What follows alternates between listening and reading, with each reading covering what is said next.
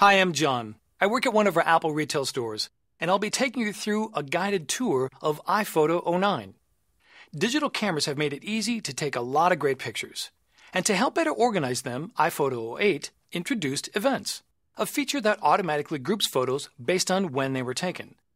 Now, iPhoto 09 introduces Faces and Places.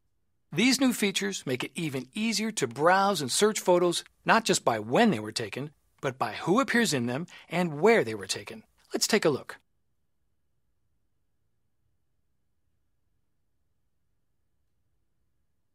If you're like me, your most important photos are of the people in your life. With Faces, finding those photos is now a lot easier. Faces uses facial recognition technology to organize photos by the people in the pictures. Here's how it works iPhoto uses advanced face detection to find faces in your photos.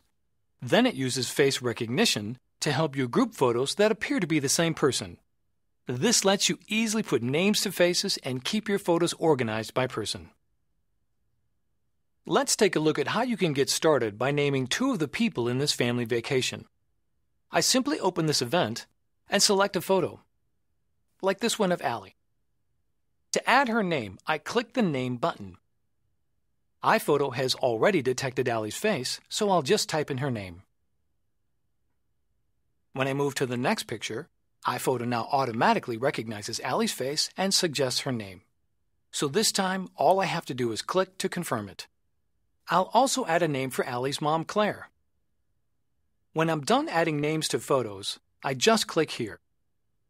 Next, I click on this icon to switch to the new Faces view, where iPhoto displays a single snapshot on a corkboard for each person I've named.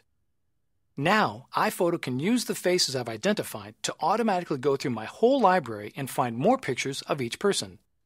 For example, to see more photos of Claire, I just double click her snapshot, and iPhoto shows me other pictures in the library that might also be Claire. Now I can click Confirm Name to quickly verify iPhoto suggestions. This feedback helps iPhoto do a better job of recognizing Claire's face, allowing it to suggest more matches right away. As I import more pictures of Claire, iPhoto will automatically update the suggestions to include the new photos. Every time I name a new person, another snapshot gets added to the corkboard. I can even skim across a snapshot to see more photos of that person. To change the key photo for any snapshot, just press the spacebar.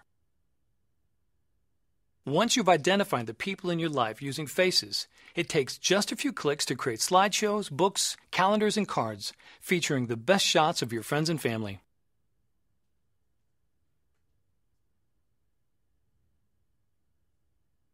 Using the new Places feature in iPhoto 09, you can now explore your library based on where you took each photo.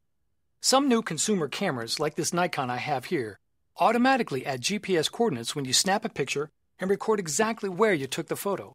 iPhone does the same thing when you take a picture and tell it to use your current location. When you import photos from one of these cameras into your library, iPhoto imports the location data. That means you can organize and browse your photos based on where you took them. Here's a photo shot with a GPS enabled camera. When I click the Info button in the corner of the tile, iPhoto flips it over to show me exactly where this photo was taken. I can see it as a pin on a map or in a satellite view. To see the locations for an entire event, I select the event and flip it over. Now I can see where I took all the photos in the event and retrace my route. If your camera doesn't capture GPS location data, or you have photos in your library taken before GPS was available, it's really easy to add locations manually. Here's how. I select any group of photos or an existing event and flip it over. Then I click the Location field, start typing, and choose the location I want from the menu. iPhoto instantly applies that location to the photos. Once your photos have locations associated with them, iPhoto understands where each of your pictures was taken relative to other reference points, such as surrounding states, cities, and even nearby points of interest. It knows, for example, that the Eiffel Tower is located in the city of Paris, which is in the country of France. So now I can use the names of any of these places to find the photos I'm looking for. I can search for photos by typing Paris, or I could simply type Eiffel Tower, and iPhoto displays all the images taken there. The Places view gives us two additional ways to explore our photos using locations. First, I can use this fully interactive map, which lets me see at a glance where all my photos were taken. To find pictures from any area, I just zoom in and click. I can also use the new column browser to find photos. In this view, iPhoto lets me browse locations from the most general to the most specific. Here I'll click on the US, narrow my search to New York State, then click New York City. Then I'll narrow it still further to photos taken at a specific point of interest.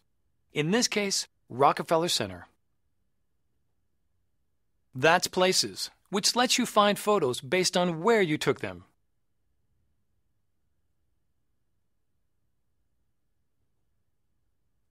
Half the fun of taking photos is sharing them with other people on the web iPhoto 09 lets you share photos with your Facebook friends with a single click.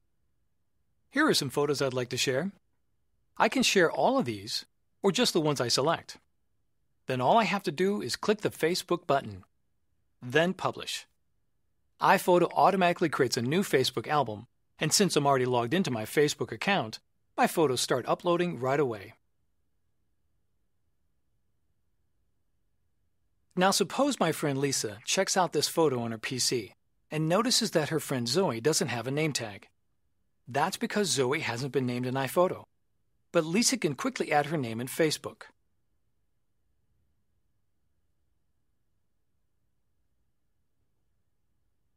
The next time iPhoto syncs with Facebook, Zoe's name will be added to her face in my library. I can then confirm her name to add her snapshot to my corkboard.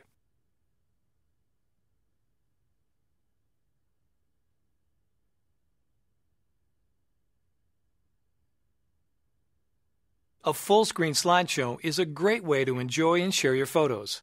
And iPhoto 09 makes it easier than ever to put together captivating slideshows. To instantly make a slideshow, I can select any group of photos a person and faces view, a place, or an event. I'll pick this event, then click the slideshow button and choose a theme. This new scrapbook theme should look great with these photos. I click play and iPhoto creates a polished cinematic slideshow.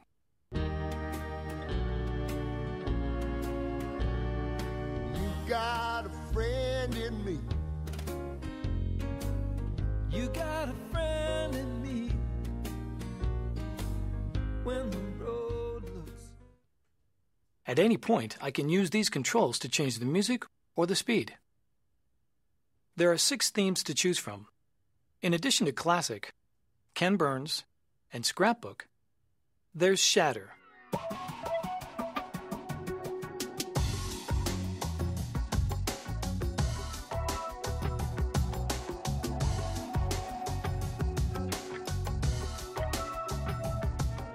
Snapshots.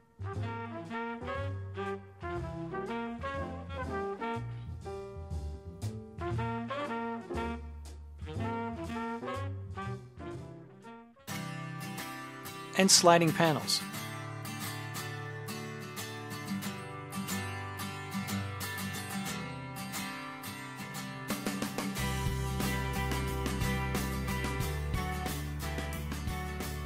iPhoto uses face detection to correctly position the photos so that none of the faces are cropped out of the frame. I can even use the film strip at the bottom of the screen to jump ahead or jump back to any photo in the slideshow.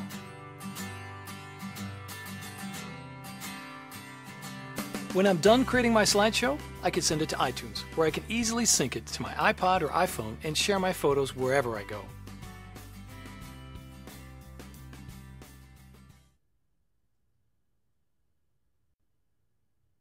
iPhoto